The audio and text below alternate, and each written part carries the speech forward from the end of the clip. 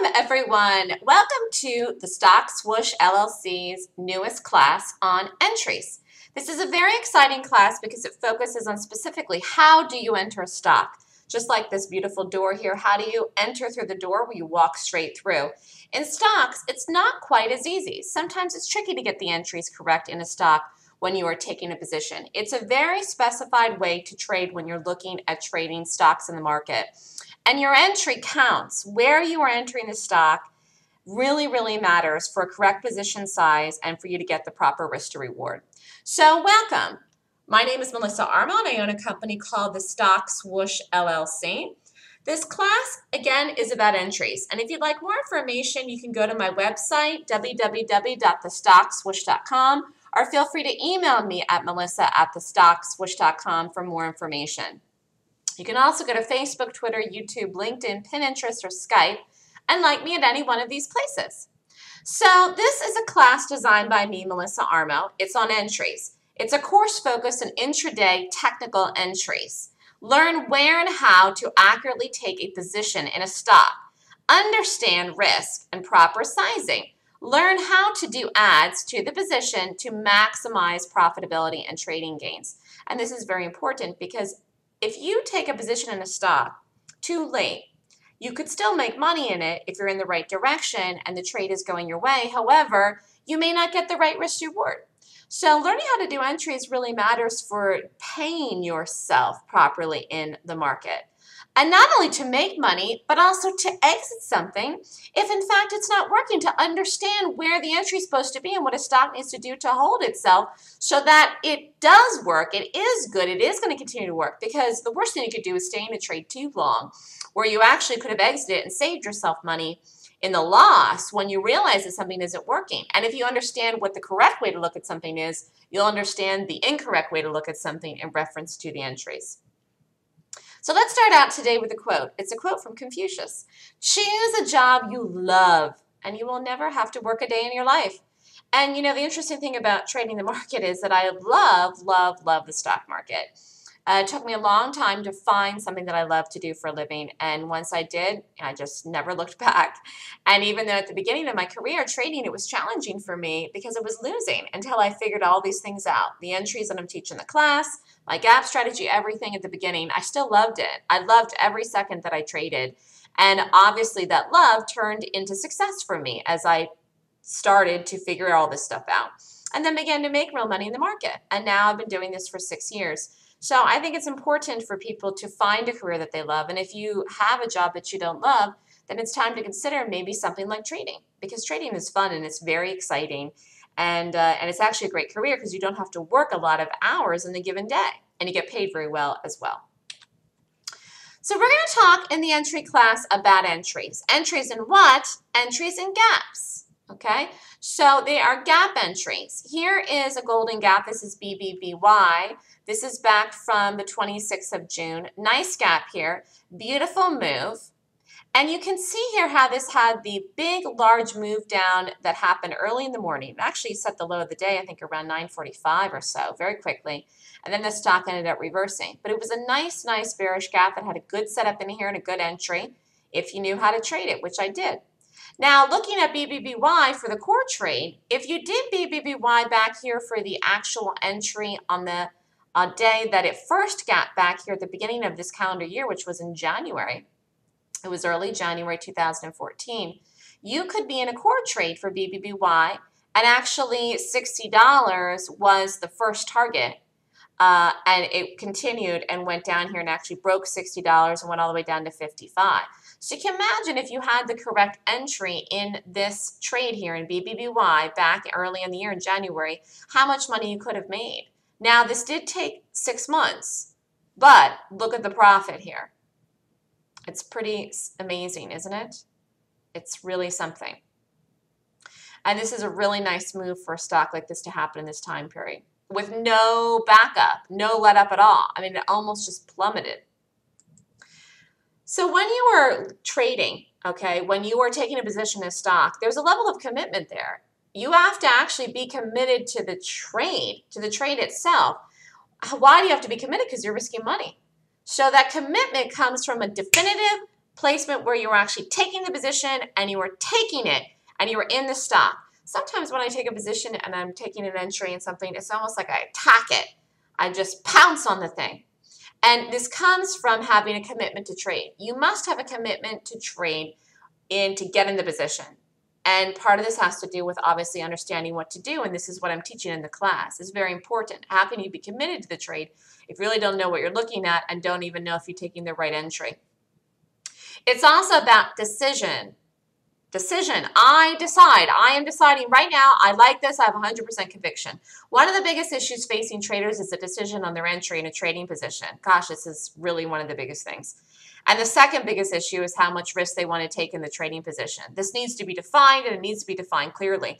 I'm ever amazed since I started teaching people how to trade how much difficulty people have in sizing. Uh, this is how much risk they want to take in the trading position. And sizing is a big, big, big, big factor. And I never thought that that was going to be something big when I taught people because I, I personally really have never had a problem with it. But I have a background in, in math, and uh, so I really am good with mathematics and arithmetic. And I can figure out a lot of things in my head. But you do have to get good at that with, with trading. I actually have a quiz uh, for the entries class. It's a quiz, a math quiz that people have to do that take this class. And it helps you get good at numbers in your head. And it's one of the things that I realize that people need uh, to become stronger traders. So you've got to get to the position where you want to take away the anxiety of where to enter a trade. And how you're going to do that, you have to learn what to do. Okay? You are taking the trade, you are taking the monetary risk, you, boom, you're doing it. So the only way to get away from the anxiety, okay, of the fact that you're taking the risk is to have the level of commitment to make the decision to know where to enter it and to believe that you are correct. This will help you have less losses. If you've got more focus, you have less losses, okay? And also you will not take as many entries. What happens is many people do this they aren't sure exactly of the entry. So they take it, then they kill it, then they retake it again, then they kill it. And they're in and out of something five times, all in the same direction, by the way. And they didn't know where to put the stop. And all of this is churning and burning their commissions too. So you can really see how it's problematic for your P&L. Even if you end up going on to make money in the trade, you churned and burned yourself up and down in five different positions and it ate up your commissions too, your commission costs, and just takes away from your profit. And if you, if you lose in the trade, then it really takes away from, you have the losses and you have the commission costs. And they can add up. So a lot of people uh, have losses in their trades, even if they get something in the right direction, even if they're looking at the right pick, because they're in and out of something a couple of times because they're not exactly sure where they should be in it. And they're in it and then they kill it, then they take it, then they kill it, then they take it, then they kill it. And I know this. I know people are doing this. In fact, if I if I put a camera in front of traders and videotape them to see it, it's probably crazy some of the activity that people have when they're doing in and out of stuff. And so I don't I don't trade like that. I don't trade like that at all. Okay, I'm very definitive. So you will make more money with the right entry. You will. And so it's important. It's important to get that entry right. It's important to understand that you will make more money with the right entry. And it's also about seeing it live in the market. I'm extremely good at seeing entries at immediate live time in the market. It's a skill that I've developed, and I actually think I, I'm one of the best people out there that can do this. I don't know anyone actually personally that can call entries uh, live as well as me. It's something that has to do with me ingrained that I'm reading the price, and I think it's the amount of hours that I've spent actually trading even though it's been six years, and six years isn't that long in a lifetime of, of traders that are trading for years and years, but the number of hours that I've spent observing charts, trading live in the market, and doing it, I'm way past that mark of 10,000 hours or whatever it is where you need to do something to become an expert. And because I've spent so much time trading the open, specifically that morning period of the day, I've gotten really good at it. I also think I'm just meant to do it. I mean, it's just one of these things that I'm just meant to do because I do it so well that there's almost no other explanation for how good I can see and call things in live time. And uh, I think it's one of these things that you can get good at, uh, but you definitely have to learn it. Seeing entries live in the market is one thing that traders need to learn. And uh, since you know, I know from doing this and meeting up with people, it's one of the most challenging things that people struggle with. Uh, people can learn a strategy. They can learn how to look, read a chart overall, the directional bias, but people really, really struggle with the entries. I think it's one of the reasons people like being in the trading room with me. So this is the reason that taking a class and redoing classes with free retakes is helpful. And the entry class, you get free retakes. You can redo it. Um, you can redo it as many times as you need to once you sign up for it the first time. And it's helpful because you get used to seeing things over and over and over again. You've got to get used to the patterns of the setup so that you can press the button when they happen live. And you have to learn what to do so that you can press the button to make money. Because if you don't press the button, you won't make money. Position sizing correctly for profit and less loss. Ooh, here's the one I was talking about earlier. Not every trade can be taken with the same size. Boom, that's it. And I don't think a lot of people realize that. You will have a P&L that is swinging right and left all the time if you have the same position size in everything you do. Can't trade like that. Proper position sizing according to risk is a learned skill and it's important in your trading. It matters so you don't risk too little or too much. You, you can't risk too much on one trade and then the one trade fails and then you risk not enough on the next trade and that trade goes on to work. See how it screws up your P&L. It really matters so you don't risk too little or lose too much. I'm serious about this. It matters so you make money with less risk and trade with less stress and with more conviction. And all you need to do is learn how to do it. That's all. Now, I also talk in the class about doing adds to maximize gains. Okay, I also talk about this too. Very important because sometimes a stock will be setting up. It gives you opportunity to take more of the position. The target still makes it worthwhile for the risk reward. And you got to learn how to do this because you can make more money doing this. So learn also what is confirmation. What is confirmation in a trade? What is the confirmation that something's okay to take at the setup? Learn what an entry really is because many people don't know what is right or wrong or where to put the stop. And uh, you've got to learn that. You know, you just have to learn this because otherwise you will maybe only take 100 shares of something, something that you could have taken 2,000 shares of. Or you'll take 2,000 shares of something that you should have only taken 500. And it will reflect in your monetary results even if you get the trade direction right, you have to get the most bang for your buck in the trades that you take. Why? Why? Why? Why am I saying this? Because you don't get amazing trades every single day. Some days you get amazing trades, and some days you get okay trades, and some days you don't get anything.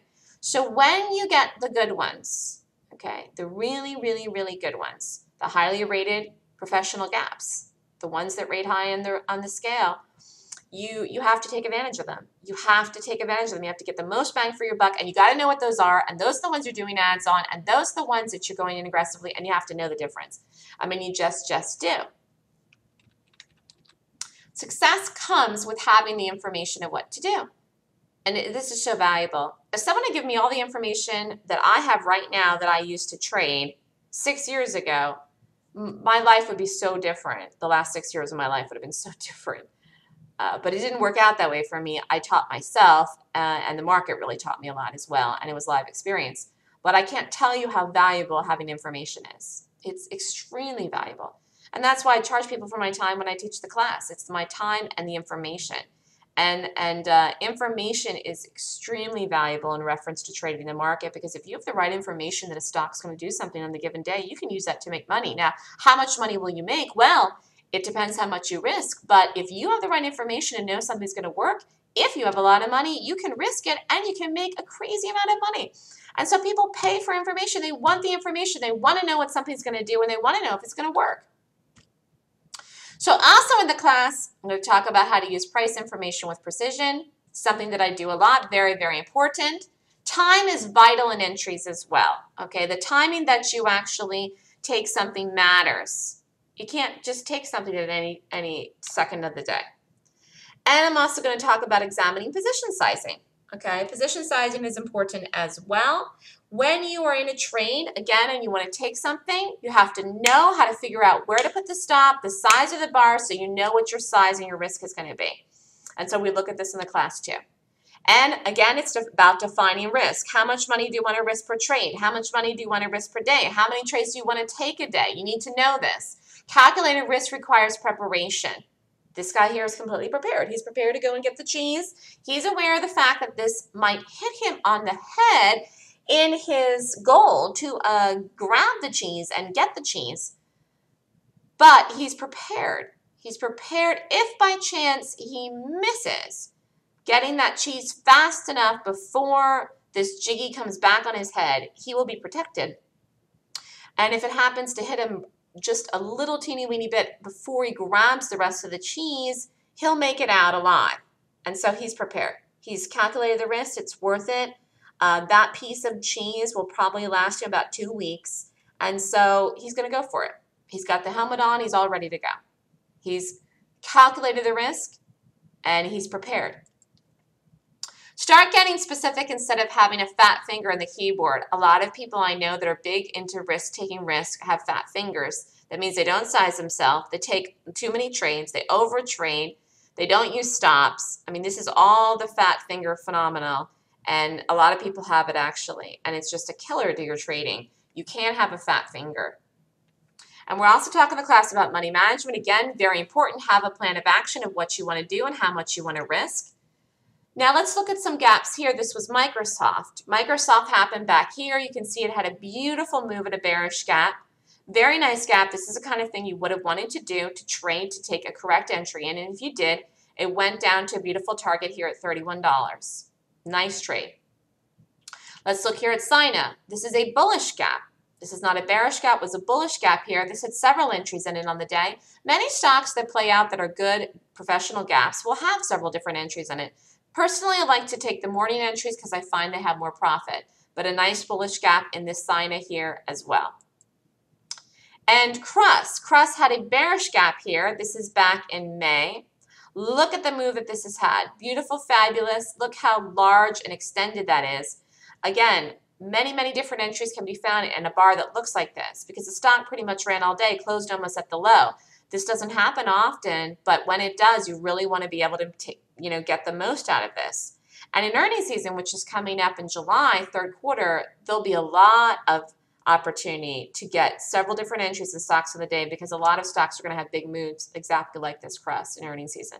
It's just typically how it works because you get more gaps and there's more interaction where people are looking at things and they're watching things and they're more invested in what's happening with their money and in the summer, particularly, people don't have any problem just dumping their positions in stocks if they want to because uh, they just want to get out of stuff and they'll maybe wait and reinvest their money in the fall. Entry should not be taken like a bet at a casino. Obviously, this guy here has a fat finger. He has no concern at all for the amount of money that he's risking or the buttons that he's pressing, and you don't want to be like him. He needs a little bit more maturity here about what he's doing, and it's really not going to casino when you trade. So learn what is the right thing to do. Years ago, I used to go to the library to study. I remember that in college, you go to the library, use the computer, you'd study. You know, now every day everything is virtual for people. But you really got to get serious about this, like back in the olden days where you'd read your charts, you'd study your books, you take a class. I'm very old fashioned in my teachings in reference to the way that I teach. People have to take notes and they have to focus and listen and think about the things I'm saying and it's important. And that's how you integrate information into your brain, by the way. So risk to reward. Where are you taking a trade? How much are you risking?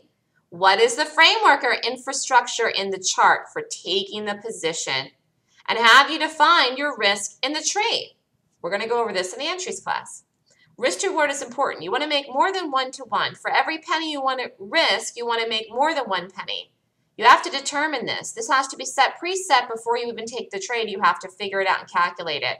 And having the right infrastructure is similar to having the right foundation of a home. If you don't have the right infrastructure or foundation, which is a strategy in reference to your entry, then you don't then you're not in a solid foundational home. You're not in a solid home. You're in a you're in a teepee, you're in an igloo, you're in something that could break or fall if the wind blows over. You want to be in something that has a solid foundation.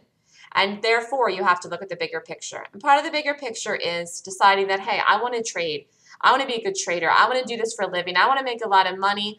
I want this to be my retirement savings, whatever. And you got to say, I'm going to buckle down. I'm going to learn this stuff. I'm going to embrace it. I'm going to live it. I'm going to love it. And that this is going to be part of my life. And that's the bigger picture, really, with the market for me and what I'm teaching people uh, is to embrace it Trading is really for income. Whether it's part-time income, full-time income, or again, retirement, it's up to you. The choice is yours. You do need to know that before you go into your trading and determine your risk or where you're getting out of a trade even as far as holding to a target or a longer term trade. But overall, on a weekly or monthly or annual basis, you should know why you're doing this. Uh, trading is for income. There's a purpose to it, and that's why you have to take it seriously. And learning how to take correct entries helps you get longevity and consistency in your trading. And you won't make it if you don't have consistency. And how are you going to do that? Not by getting in and out of a trade five, six, seven, seven different times in a day. You have to take it and hit it and attack it, just similar to the way that I take my trades in the morning. Very specific, very defined, very detailed, no question. Conviction in your entries helps you stay on track with your trading, which means staying in the right course, staying in the right path, going down the right road, doing everything you need to do so you can get to the money and if you want to make money trading, then detail is required. Very specific. This class is very detailed, as all my classes are. Uh, and it's a great course. So if you're interested in the HS course, email me at melissa at thestockswoosh.com. It is a class focused on intraday entries and gaps. The cost of the class is $14.99. Email me at melissa at thestockswoosh.com if you want to sign up. And feel free to reach out to me if you'd like more information. Thank you so much, everyone. Thank you for coming. Have a wonderful evening.